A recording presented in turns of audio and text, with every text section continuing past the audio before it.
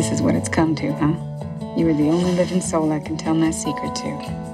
I painted every single one of them. Every big eye. Me. And no one will ever know but you.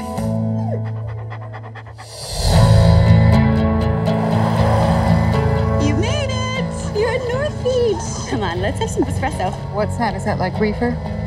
You have a lot to learn. What's your name? Margaret, wouldn't you rather flirt with those girls down there? No, I like you, Margaret. Wow, this is all happening mighty quick. I am a divorcee with a child. Walter is a blessing. Mm. You're gonna love this stuff. Why are their eyes so big? The eyes are the windows of the soul. That's why I paint them so big. I've always done it that way. Why are you lying? Sadly, people don't buy lady art. The painting says Keane. I'm Keane, you're Keane. Smile. We're sold out. They adore you big eyes. He sells paintings, and he sells pictures of the paintings, and he sells postcards of pictures of the paintings. Good God, it's a movement. So, are you flipping for all this? Honestly, I can't believe I live here. I remember when Mama painted that.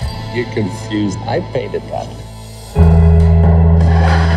What is troubling you? I lied to my child. I'm just not that kind of person. Is your husband that kind of person?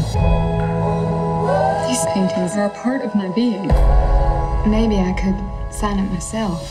That sounds a bit confusing, doesn't it? Keane means me. Do you want to give back the money? If you tell anyone this empire collapses, If that's the price. It's like a mirage. From a distance, you look like a painter. But up close, there's just not much there. that's an outrageous statement!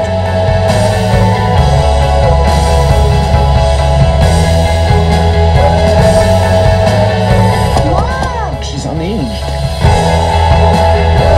You don't even know what the truth is. So, who is the artist?